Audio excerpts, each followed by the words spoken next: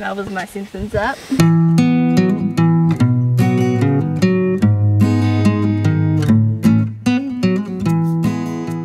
Hi guys, it's Talicia and today I'm going to be showing you how to groom a horse. So the horse I have with me today is Super. He's obviously a I'm really slinky, but because I've started working with Super, I thought I would show you how to groom on him.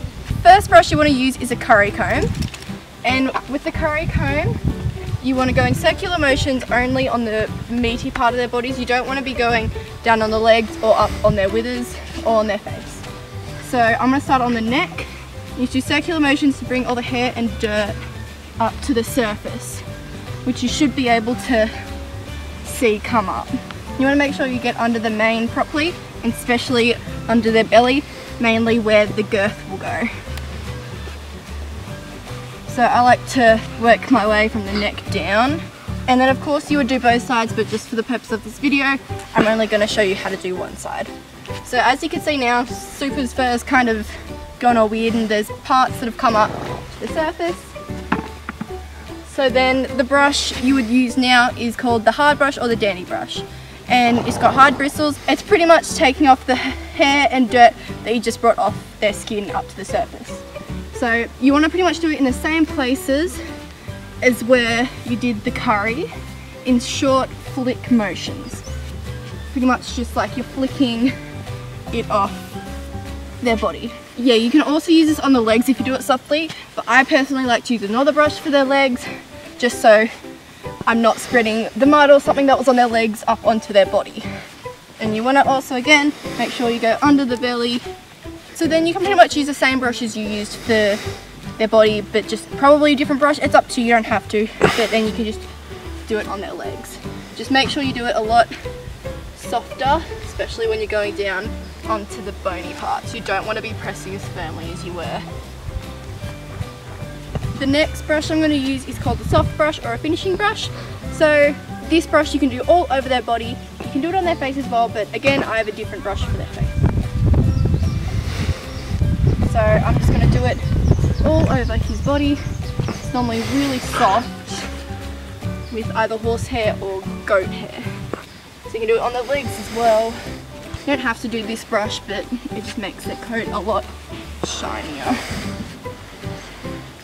And gets all that leftover hair that you might have missed. Now this is optional, but I'm going to use a face curry or a jelly scrubber as you can use for washing, but I'm going to use it on his face. I'm not going to do the coarse side, I'm going to make sure it's the smaller side, which is a lot softer.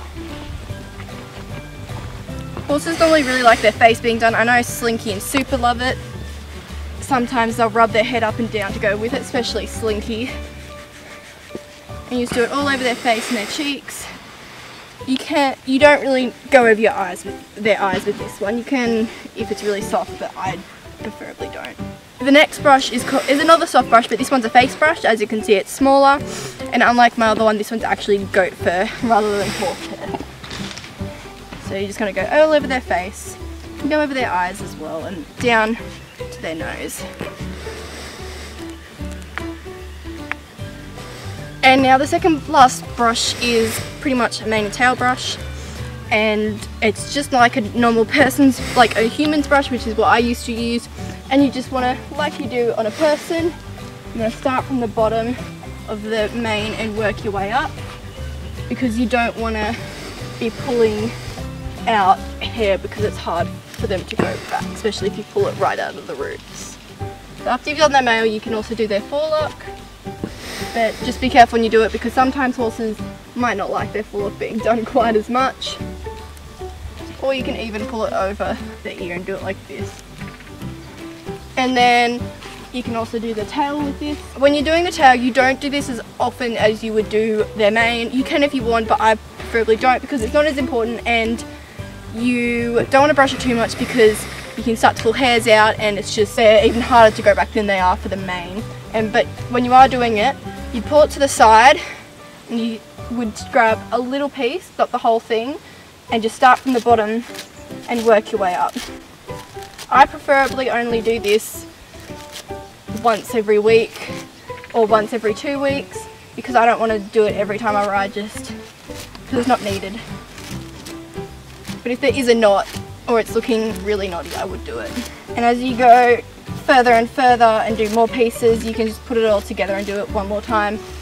And the reason you stand to the side is so if they were to kick out, they wouldn't kick you because you're at the side of them. Now the last brush, well it's not really a brush, but uh, it's the most important one of all. If you're not going to brush a horse, or if you don't have time, which you really should because you should make time for this, but the one brush to do is the hoof pick because their feet are the most important thing to be looking after of just because if they had a stone in the bottom of their hoof they can cause stone bruises and worse things like that so you always want to get everything under their feet so when you're doing their feet you need to run your hand down their leg when you get behind their fetlock and if they don't pull it up like Super doesn't oh he actually is kind of doing it but if they don't pull it up, you can give them a little push and push them off balance, like that. And you hold it with your left hand, if you're on the, the left side of the horse, you hold it with your left hand under the horse's hoof. Make sure you have good balance of it and so it'd be comfortable for them.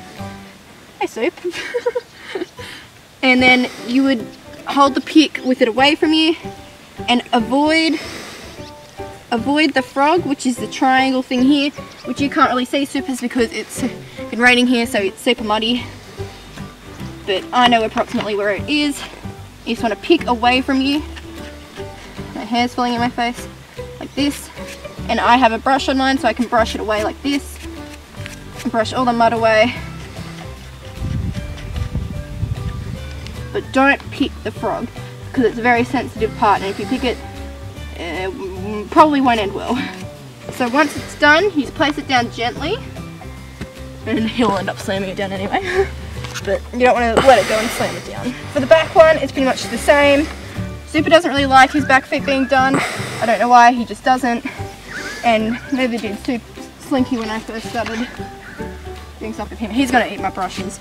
But see how Super's not square at the moment? You want him to be square so he's not off balance and try to pull his foot away oh, the forward come. And you want to do the same thing. Super doesn't really like it, so make sure you get a hold of it with the back foot when you've got it. For Super, I wait for him to relax because he sometimes he'll try to pull away. When I feel him relax like this, pull it out, and I put my leg behind it so he can't pull it back. And also I can quickly see my leg away if anything else happens. But you want to make sure it's comfortable for them. And the reason you want to pull it out is so it's not as easy for them to pull back and kick you. So Super's back front and now he's trying to pull back in, but he can't because my leg's there. So after you've done the foot, you want to make sure you put it down gently again. Super will probably try to slam it away. He doesn't really like it being done, so I won't let, I won't put it down when he wants it down. There. put it down gently like that. So that's how you brush a horse. I hope this video helped you and I'll see you guys tomorrow for my vlog. Okay, thanks for watching. Bye. Now look at me. You've made me who I am today.